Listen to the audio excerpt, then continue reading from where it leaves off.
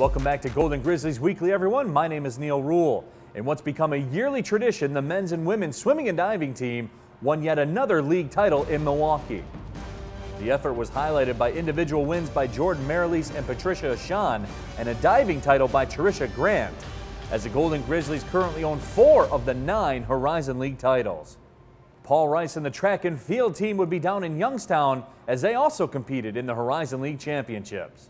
It was a Metro Series sweep for the track and field team as the women finished third and the men finished fifth, highlighted by titles from Serena Sancartier, Sammy Mondry, Gino Fatella, and David Kaponen.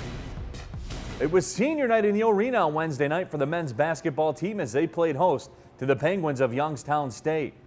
Kay Felder will record a double-double with 20 points and 14 assists in the 82 71 win.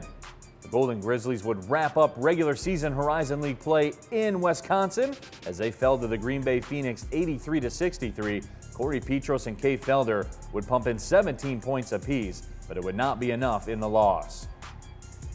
The women's basketball team was back in action at the arena as they played host to the league-leading Green Bay Phoenix. Olivia Nash would score 16 points, but the Golden Grizzlies would fall 70 to 55. Oakland would conclude the week with a trip to the Windy City, where they fell to the UIC Flames 64 to 54, despite Nola Anderson's 22 points. Down in the Sunshine State of Florida, Connie Miner and the softball team had a winning week.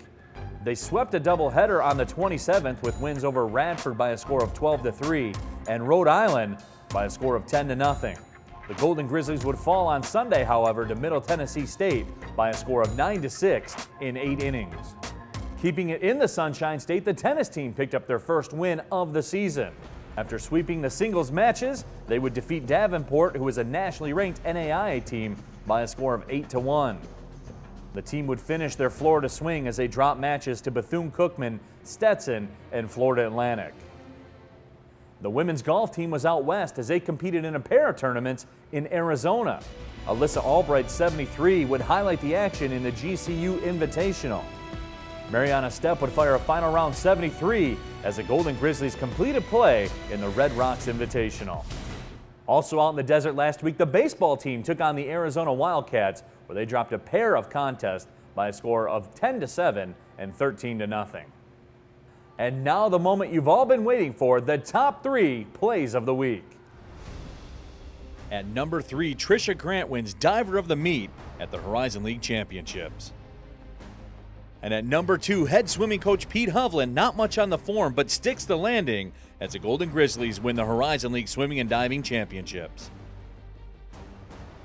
And at number one, Kay Felder crosses over Bobby Hain and drives and scores in the win over Youngstown State on senior night. Fans, don't forget you can follow the Golden Grizzlies on social media on the Twitter handle at Golden Grizzlies with the hashtag Wear the Bear. Everybody loves the Instagram at Golden underscore Grizzlies. And don't forget about Facebook, facebook.com slash Golden Grizzlies. That'll do it for this week's edition of Golden Grizzlies Weekly. Thank you for watching, everybody. My name is Neal Ruhl. Well, see you later.